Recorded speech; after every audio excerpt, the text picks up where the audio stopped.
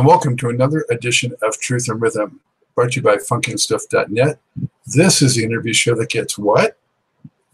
Deep into the pocket with contemporary music's foremost masters of the groove. I'm Scott Goldfine, musicologist and author of Everything is on the One, the first guide to funk. You want to have your copy, get on over to Amazon and pick one up. What are you waiting for? Whether you're watching or listening, as always, I thank you very much for your continued interest and support. On this episode, we're featuring Fred Alexander Jr., the barefoot drummer and composer who has kept the beat right on time for four decades with one of the mightiest funk and R&B bands of the late 70s and 1980s, Lakeside. With roots in what became the funk hotbed of Dayton, Ohio, the group's beginnings trace back to 1969 as Stephen Shockley, the group founder. That's when the Nomads and Monterreys joined forces to become the Young Underground, which then became the Ohio Lakeside Express in 1971 and eventually Lakeside. After false starts with Curtom and Motown Records, the group, which had attracted Dick Griffey as an advisor and a manager of sorts, released its self titled album on ABC Dunhill in 1976. It failed to draw much attention, but in 1977, Alexander joined Lakeside just as the group was about to hit its stride. Coincidence? Maybe, but the funk all starts with the drummer, and he clearly had a good feel for it. After being pursued by Norman Whitfield, uh, Norman Whitfield's label, Lonnie Simmons' Total Experience label, and Solar Records, the band opted to choose the latter as a recording home, largely due to their strong relationship with owner Dick Griffey, who agreed to let Lakeside write and co-produce their own material, something Norman Whitfield, bit of a control freak with uh, Undisputed Truth and and Stargard and Rose Royce and all those acts would not do. Released in 1978, the Shot of Love album included the 1979 funk smash It's All the Way Live.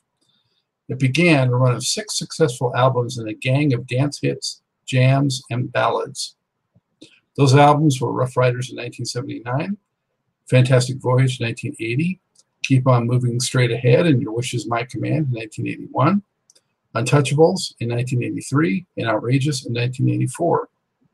A pair of subsequent albums, Power in 87 and Party Patrol in 1990, represented the group in its decline. All total, though, Lakeside scored three top 10 R&B albums, with four others reaching number 35 or higher, and had 13 top 40 songs. Very impressive. Notable tracks from the Lakeside catalog include Pull My Strings from Nine in Tow, the number one sensation that later also became a chart topper for rapper Coolio, Fantastic Voyage. Your Love is on the One, the Slow Down Beatles remake, I Want to Hold Your Hand, Something About That Woman, Raid, Turn the Music Up, The Ballad, Real Love, Outrageous, and several others. No question, some of those are the baddest funk cuts of the period. Aside from that, Lakeside's sound and style was unique. They began as a singing group and a band, and that uncompromising approach to fully represent both sides of that equation helped distinguish the group. With conceptual gatefold covers featuring elaborately illustrated themes of group members dressed as pirates, cowboys, genies, and other fun motifs, Lakeside stood out in record stores, similar to the way that covers by acts like Ohio Players and Funkadelic did. Although the group's only release in nearly 30 years was a live album more than 20 years ago, Lakeside has steadily kept the fire alive on stage and continues to maintain a busy concert schedule. In this in depth interview, Alexander, who also serves as the band's general manager, not only recounts Lakeside's entire history, but gets into the weeds with lots of fascinating stories and details. As forthcoming and down to earth as they come, he conveys a great passion for not only the music, but especially connecting with people. With that, it is most definitely time to get all the way live with Mr. Fred Alexander Jr. I am so pleased to welcome to the Truth in Rhythm Mothership Mr. Fred Alexander Jr., who for more than 40 years has served as a drummer and a composer for the tremendous funk R&B group Lakeside. Fred, how's it going today?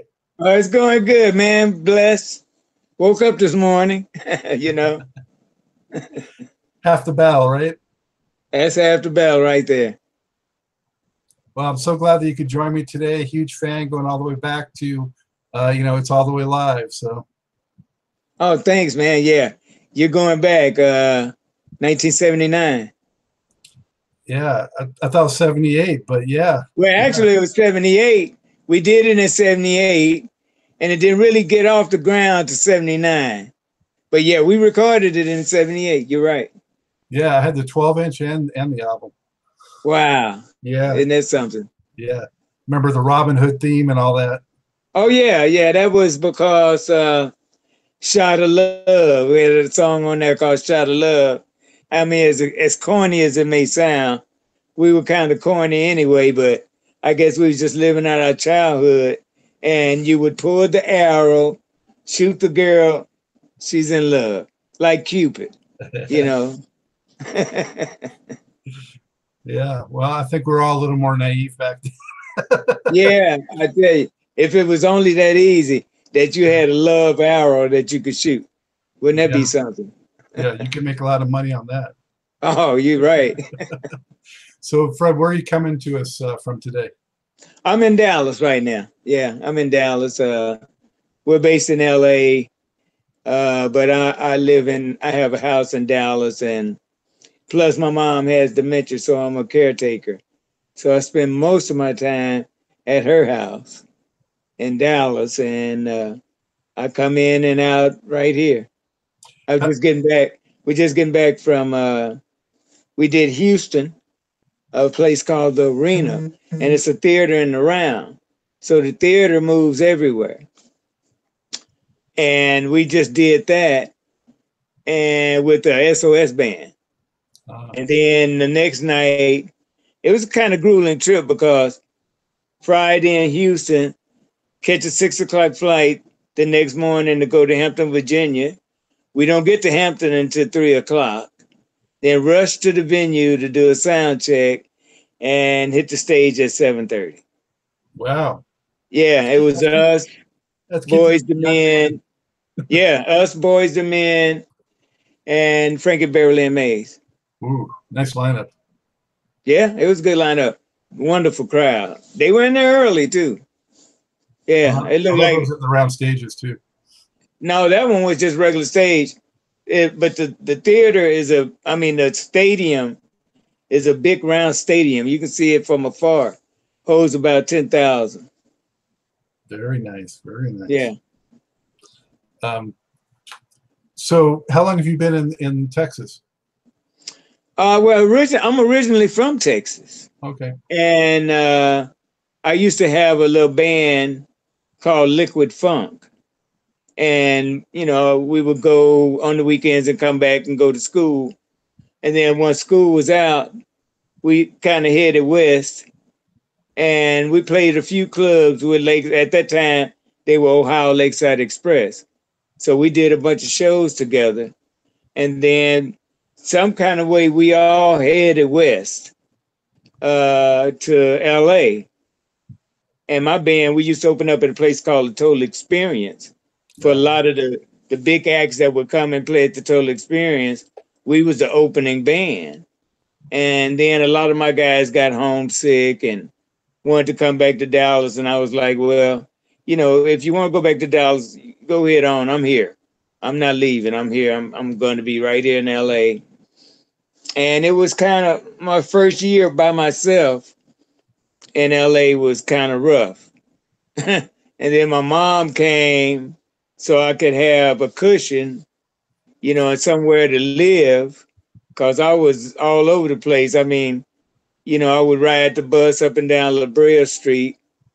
And then I finally got a good gig uh, on the weekends out at Seal Beach mm-hmm. with a guy at this place called Jolly Rogers. And I was making some good money. Most of my guys went on back to Dallas and I went to this party. Uh, Raj from uh what was it, different strokes. What what's happening? Yeah, what's happening? That was it. What's happening? Yeah. Well, he had a party in Malibu, and I went to the party with me and my two sisters, and the, guys from Lakeside was there. So we got to talking, and they remember us from doing shows together. We did a show. One of our last shows together was in Phoenix at a place called JK Lounge, and none of the regular people in the city went to this club because it was a club where pimps showed off their women. So that's all was there. It was like this was the pimps club. So nobody else came there but pimps. So they would all come and show off their women. We was the entertainment. We go on first and then Lakeside went on. And then once we left there, we all headed west. And like I say, my guys came back home and I stayed. And eventually, once I got a good gig going, I did went to the party like I, I stated, and uh, Steve, the guitar player, and some of the other guys was like, "Man, why don't you come on down, you know, and and, and rehearse with us and hang with us?" Because their drummer had left. So I went down and hung out with them for a minute, and I was like, "Man, you know, I'm making some good money on my gig, you know." And so they was like, "Well, come on, rehearse with us," and I hung out with them, and they was like hey man, why don't you join the band? And my thing was, okay, I'm gonna give up this great gig I'm doing to almost going to making nothing. But I was never gonna make records on this good gig that I was making six, seven hundred dollars a week on. And I was like, okay, I'll join the band if we're gonna make records. And so they will say, I'll, I'll, starve if we're gonna make records. And they was like, well, that's our whole purpose, man. We're, we, we're going to write and make records. So in order to keep us from starving, we used to run to Canada, Calgary, Edmonton, uh, Vancouver. We always could run up there and work and get a good gig. So we'd run up there and stay maybe three or four weeks, you know, at a time, and then come back to LA with a little change in our pocket so we could keep rehearsing because all we did was rehearse every day. Rehearse, rehearse, rehearse, write songs, rehearse. And I mean, they don't do it like that now, but that was the fun way to do it because you was at your rehearsal hall every day. Uh, it was a lot of magic happened just because you were together. You know, you might write a song by yourself and then you get with the guys and you say, hey man, check this out. And then they would say, oh, yeah, that's bad. But once everybody got a hold to it, a lot of magic happened to the song that you didn't even anticipate. And it only happened just because of the vibe of everybody. Mm-hmm. And the song would turn into something even better than what you intended it to, just because you had all these other ideas come from from different guys. And that's kind of how we used to do it every day. We would just rehearse something and rehearse something, and then somebody would say, uh, Come along and write. Yeah, man, that's bad. Just put that in there. And that's kind of how we put put all the songs together. So we just rehearsed. Fred, Fred, that was around 77 when you first got with him, though? Yeah, yeah. Well, kind of like I met him like 76. And we kind of, I kind of got with him at the end of 76 and start and just officially got in the band. And from that point on, like I say, we just rehearsed a lot and run back and forth to Canada.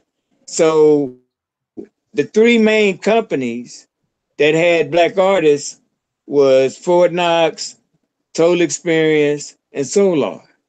Those are those were the three three main ones.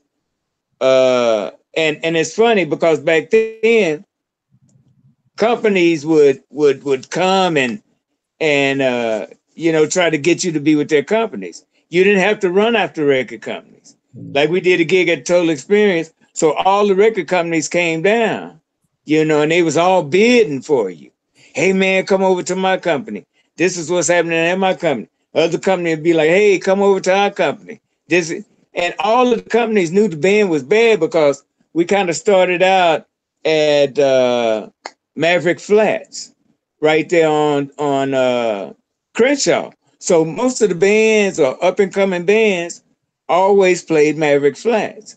And Maverick Flats is still there today. Mm. And so after all of those years, it's still there. So we would play out of Maverick Flats and Total Experience was down this down the corner, which was a bigger place for shows, you know. And we started playing there. So when they came and bidded on us, we we knew what we wanted to do in terms of being with a record company.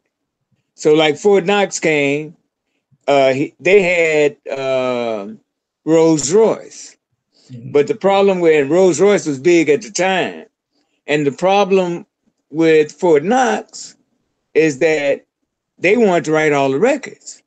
You know, he had writers, he was a writer. So they wanted to write all the records, you know, and we were like, well, no, we want to write what Lakeside is about. And we were just subsidiary of a bigger label? Uh Fort Knox. Yeah. I forgot who the bigger label was that they were with. Yeah, but all of them were like that. Yeah. Well, either one would be with Capitol or you know something like that, or, or Universal. I mean, they all had a big conglomerate that they were with, and you know, like how, the big boys had five or six smaller companies that were up under their umbrella where they distributed all the records and that kind of they made the deal with the small company and then the small company had artists and they made the deal with their artists right but the bigger companies like Capitol or whatever, they would stand behind the deal. And they sort of had to okay it also. So what happened, uh, excuse me. How big was the band? Was it about eight or 10 guys? It was nine of us on stage. And then we had three crew guys at the time. So what happened, Fort Knox came and we didn't like their deal. We're like, nah, we're not gonna do that. If we can't write, we don't want to be with you. And then uh, Total Experience came, and Total Experience had the Gap Band, and they had uh, Yarbroughs and Peoples, and all those people over there. Uh, and I had told Yarbroughs and Peoples once they came to LA, I said, man, y'all need to come over here to Solar, you know, because I mean, we got Midnight Star, we got the Whispers, you know, we got the Deele, you know, we had Dynasty, Shalamar. you know, Shalamar. I mean, we was loaded, you know what I'm saying? So they wanted to go over there because they knew the Gap Band and they was part of that clique. And I never felt like Total Experience did the groups right. You know, in the back room, they was pencil whipping them. And, you know, I said, no, we don't want to be over there. And they didn't want you to write your records either. Lonnie wanted to have something to do with every record and and they had their little writers that was writing. So they had to employ their writers. So what they did was employ the writers on the groups. So the groups hardly ever were able to write enter their own records. Mm-hmm. So we're like, no. So Dick said, look, on your first record, if y'all come over here with me, I will guarantee you at least half your record, half your album you can write. And then I'm gonna get Leon to be in Leon Sylvers to be in there with you guys to make sure that it's produced well. You guys can co-produce it with Leon. And we know we knew that Leon was real savvy in recording and he had a very good ear and really a talented brother. So we we said, okay, long as we can write, we'll do it. And so the first album, that's where the first album went. The second album, he basically just said, well, okay, y'all got it. You can write your own album and we still use Leon, you know, to come in with us, help us produce it, make sure our recording technique was correct, and you know, dealing with the boards and sounds and making sure the engineering was correct because we wanted to get everything out of the band. That, and, was, uh, say, Fred, that, that first album was Shot of Love that we talked about. Right. Right. Yeah. Yeah. Um, and Lakeside actually had a previous album I guess, under the Lakeside name on ABC back in 76 before you were there. Well, I had came along right after they had recorded that one. And it, it, it wasn't a bad album, but ABC flopped. So anything that was on the label, you know how that goes. It was a wash.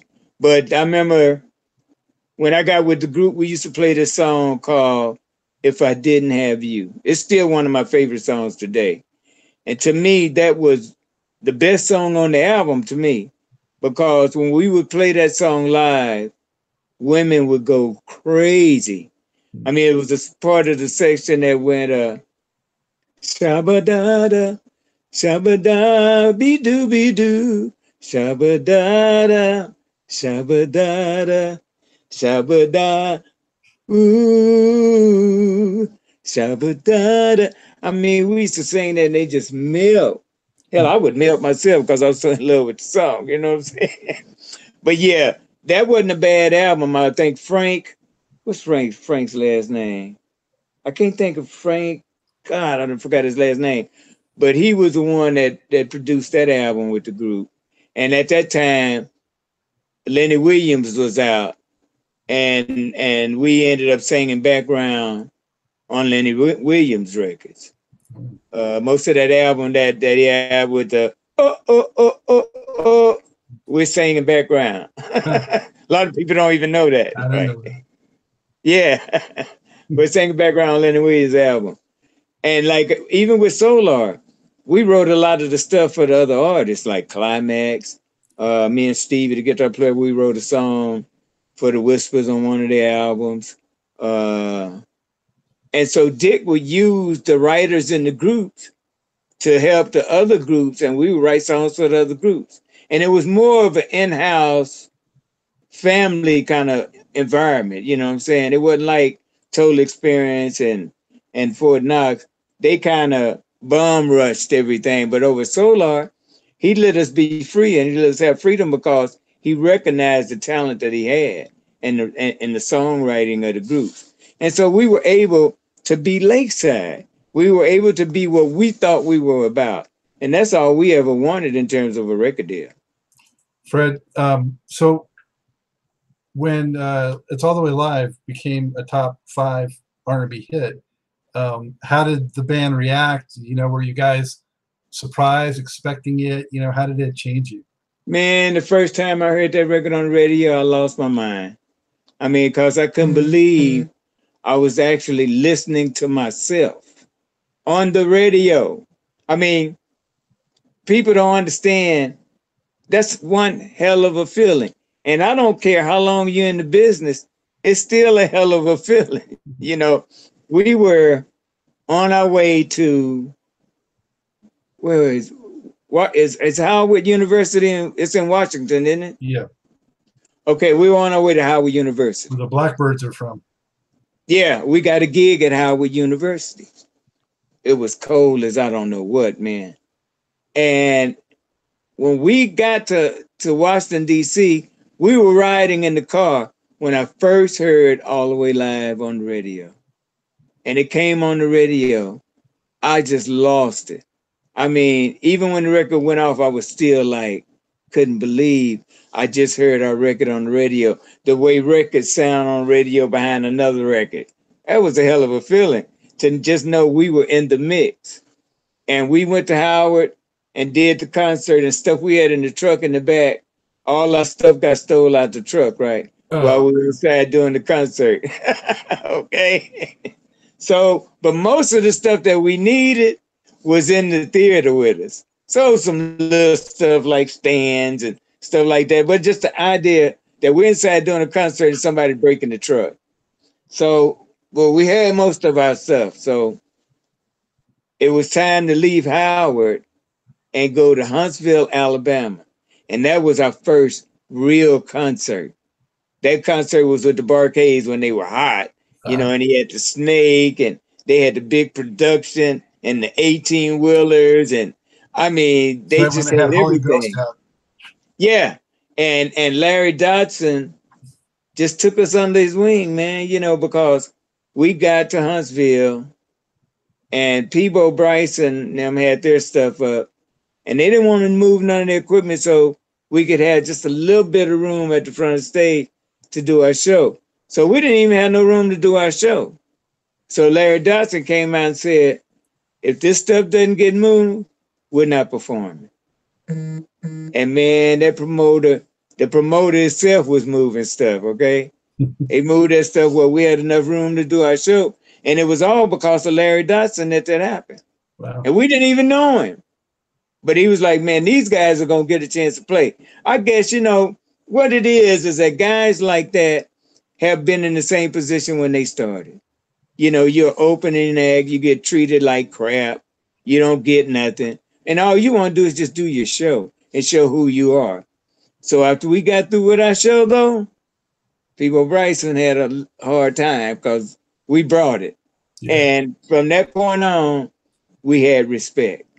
I mean, we had to go take our respect. And if it wasn't for Larry Dodson making sure we had enough on the room on the stage, we might not even got a chance to play. Wow, that was amazing. He, he was on uh, this show a couple of months ago. Um, and his influence is incredible because also just a couple of weeks ago, I had the lead singer from Chocolate Milk on, and Bar-Kays were a huge impact on them too. It just goes to show you some of the groups that were good to other groups, new groups. They didn't treat new groups bad. Then you had the bands that treated new groups bad just because they're a new group. But well, all of us was a new group at one time. Larry himself had said that George Clinton was very helpful to the Bar-Kays. So. Yeah, we've done a lot of dates with George Clinton. I've sit, to, sit, sit down and talk to George many times. Very nice guy. Compared to what maybe people think, he's weird and all that. Very intelligent brother, knows a lot about recording, knows a lot about writing records, knows a lot about performing. And uh, we've had some wonderful shows with George. But the Bar-Kays, they just, it, they really touched me because they were huge. I mean, they were big. I was like, man, I want to be like that. You know, they were huge, and he still was a humble, nice guy. And when Larry Dodson said, "I'm not to perform," man, people people got to moving. You know, because they was a headliner, and this guy's show was to be messed up. You know, they got to moving, and from that point on, me and Larry Dodson have been best friends. I talk to him just about on a daily basis because we do a lot of things. And uh, so we talk a lot all the time. And I remember the show we did where he retired. I was like, oh, Larry, you're going to miss He said, I know I'm going to miss it. Maybe I still come out and do a couple of shows sometime. You know, it's that kind of thing. But uh, we we talk all the time because Larry still books us. So he'll call me and say, hey, man, what are you doing on this date? I say, well, I'm not doing nothing on that date. He said, well, I got a master's date. You know, I want you guys to be a part of. And I remember when the masters first started, Larry came to me. He said, well, man, we only need two or three of the guys. I said, no, Larry, that's not going to work. We're lakeside or nothing. We don't do track. It's the whole band or nothing. That's what makes lakeside. Mm-hmm. That's what makes our sound. Not one or two or three of the guys. It's got to be everybody. So Larry called me back and said, okay, man. And we were one of the only bands that could have our whole band because Larry's band played and maybe one or two people of the other bands they played. But we were the only one that was able to, when it came time for our second band play. So I I love him for that because he saw that we was a strong part of the Masters of Funk that made it happen and he did the right thing by having us on the show and letting the whole band perform. So now we're just a part of it. Whenever he calls me for a date, I'm there. Well, certainly to the benefit of the fans to get to see the full Lakeside. Yeah. Um, Fred, I want to ask you about it's all the way live. You know, the groove, of course, was amazing, but it was very interesting the way the song changes up so much in the middle and becomes sort of like a Latin rhythm and there's mm-hmm. all this instrumentation. And mm-hmm. how did you guys decide to change it up like that much? Well, we we played a lot of different stuff, and then uh, our conga player grew up in East LA, so he had a lot of Latin influence, and he grew up with a lot of Latinos and stuff. And so while we were playing, I mean, this was just a section that was by itself. We were just sitting up playing, and and was playing that groove, you know, and it was nice. So basically, what we mm-hmm. did was just add it to what we already had. When we got to that section, we just went boom, you know, straight bass drum to set it up, and it and and that straight bass drum only goes for eight bars to get ready to set it up. And then I go boom, boom, You see what I'm saying? It goes to there, but it's still the same tempo as the other thing. And then at the end of it, I do a tom tom roll, and all the way live, we back. You know what I'm saying? but oh, all it, it comes was, back in. It's awesome. Yeah, it's just back in. But it wasn't nothing hard for us. It was just like something really easy. Most of our stuff is very easy, but it sounds like it's hard. it seemed like it's hard. And a lot of guys don't play the stuff right because they, they thinking too hard. They think it's really that hard. It's not really that hard. But and we made it real simple.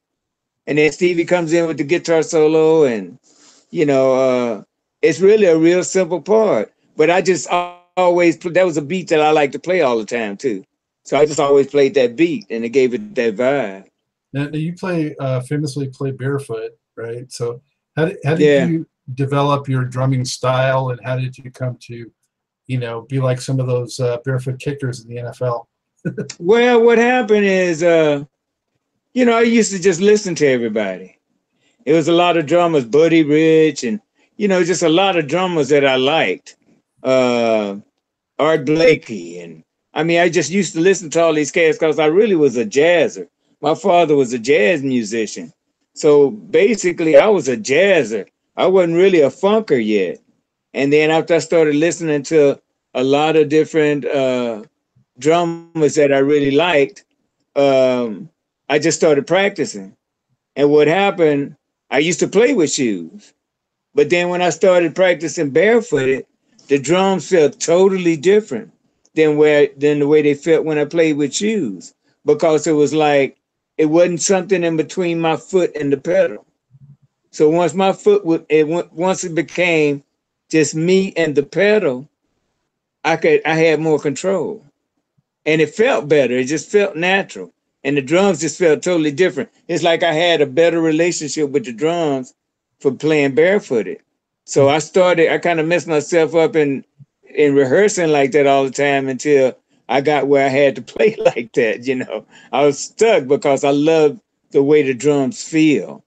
And my style just came from listening to a lot of drummers, different style, Latin drummers, funk drummers, jazz drummers. I listen to a lot of different drummers, you know. I kind of like everybody. You know, I hear a drummer and I go, wow, I like that, you know. So I listen to a lot of lot of different drummers, even now. I mean, because you never stop learning. You know, uh, after 40 years, I'm I still don't know everything. I'm constantly learning. I still look at all the drummers and I still learn stuff, you know. So it's a, it's no limit. The sky is no limit because I think that's what I like about music. You will never attain that perfection you're trying to get you just keep trying to be perfect because you will never reach that that cloud that's way up there but you can keep getting close you know so I, met, I mentioned nfl kickers same in sports with that trying to always elevate yeah. even higher trying to elevate and you find that you surprise yourself on getting better things that you th- think you couldn't do all of a sudden now you could do because you kept trying you kept trying you kept trying now you can do it, and that's a part of your repertoire. So that's sort of the way drums is.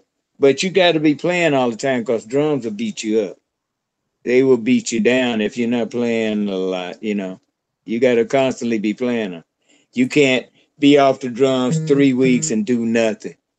When you go back to, especially if you're doing concerts, when you go back to doing a concert, man, it will beat you up. You'll be hurting in places you didn't know you could hurt in, you know. But when you stay in shape and you play all the time, the drums are fun. Wow. You know, uh, for we have some common threads, I think, in that, um, you know, I grew up in Los Angeles, so I know it very, very well. I only moved out to Charlotte area about 10 years ago. So. I know all those La Brea, Crenshaw, everything, all that. I'm totally with you on all that. You know what I'm talking about. Exactly. Uh, that's where I grew up. Um, and then as far as Dallas goes, I'm a lifelong Cowboys fan. So I don't know if you can. Okay. Okay. there, there's. Uh, yeah, yeah, I see you. I see you. Yeah. yeah. So uh, I used to go see the Cowboys. Uh, my dad used to take me to to the football games when it was the Dallas Cowboys and the Dallas Texans right before they left Dallas and went to Kansas City and Wow. became the Kansas City Chiefs. That's like early Tom Landry days. yeah, and they still kept the same colors, white and red. yeah, and they they always wanted to be Dallas's team, but they Cowboys always beat them up. so they just went on and left, you know. Getting back to the music. So once uh, you guys hit it with that record and, and you're doing the tours and all that, uh, what was your first TV appearance? Wow. I think our first TV was American Bandstand. Dick Clark. That was really amazing. I felt like we're in the big time. you know, I mean, Dick Clark, I wouldn't have never thought in my wildest dreams I would ever meet Dick Clark. And he was the coolest guy. And he really loved music he really did like all of the acts and stuff. He was really into it, you know. And I guess it's like some of the white guys back in the 50s that really loved black music. He hmm. was sort of the modern day guy like that, you know. Wolfman Jack too. Wolfman Jack, yeah. Yeah, that was another one. I mean, and these guys had a knowledge. They knew the music. They really had uh, a great sense of what was happening, and they kind of knew where it was going ahead of time, you know, because they were constantly having bands on there. I think one of the times we did it, it was us and Janet Jackson, and uh, wow, we've been with so many people. But yeah, we did American Bandstand three or four times. So you did American Bandstand before Soul Train? Was it before? I'm trying to think. Wow, you're making me go back. No, I think we did American Bandstand right after Soul Train. Soul Train was the first one. I mean, to me, Don Cornelius was like, he was bigger than life. You know what I'm saying? He just kind of had that swag about him, and you was like, and see, a- as a matter of fact, Don Cornelius and Dick Griffey had the record company together. See, at first it was Don Cornelius and Dick Griffey that had the company. So Don Cornelius went on and stayed with Soul Train and took, you know, kept Soul Train and let Dick had a record company. That's how Solar became about. Yeah. But yeah, we did you're right, we did uh we did Soul Train first. And and that was really nice because the place wasn't as big as it looks on TV, you know. but it was really a nice environment and the dancers were really good. We, I, I can't even count the number of times we, we we've done Soul Train. We was on Soul Train a lot, you know. How- How'd you guys feel about lip syncing? We didn't like that part. Uh, we had to do it because that's what way Don them did it. But I always wanted to play live on Soul Train. We didn't get to play live on a show until uh, BET. We kind of we we actually started with BET in 1980, but uh, that was the first TV program that we got a chance to play live on, and I really loved playing live on BET because they had they had the good equipment. You sounded good, and it's hard to sound good on TV, but we had a great en- engineer. Uh, as a matter of fact, Lenore Jackson, he did all of the stars. He did uh, all of that Rose Royce stuff, uh, Wishing on a Star, that car wash album. He was over there. As a matter of fact, the way we were able to actually do, I mean, not to get away from the TV shows, but just as a little history, real quick, our sound engineer always made us sound so good on TV. We were glad we had him. And I remember when we did something about that woman, he let us sneak into Fort Knox at four o'clock in the morning. And and I cut the drums and Stevie cut the guitar part, part to something about that woman. And Stevie was like way on the other side of the studio. We couldn't see one another. We just could hear one another. And we actually cut the drums and the guitar to something about that woman at Fort Knox Studio. Wow. And hurry up and got out of- guitar great in that track. Yeah, we had to get out of there by seven o'clock.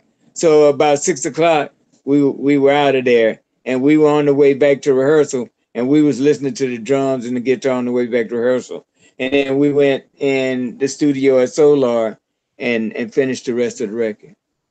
Yeah, Yeah. I mean the way you guys interlocked guitar strumming and your drum on that great. Well, it just was listening to one another, and and and not being able to see one another. You had to re- rely totally on the way it felt and listening to one another.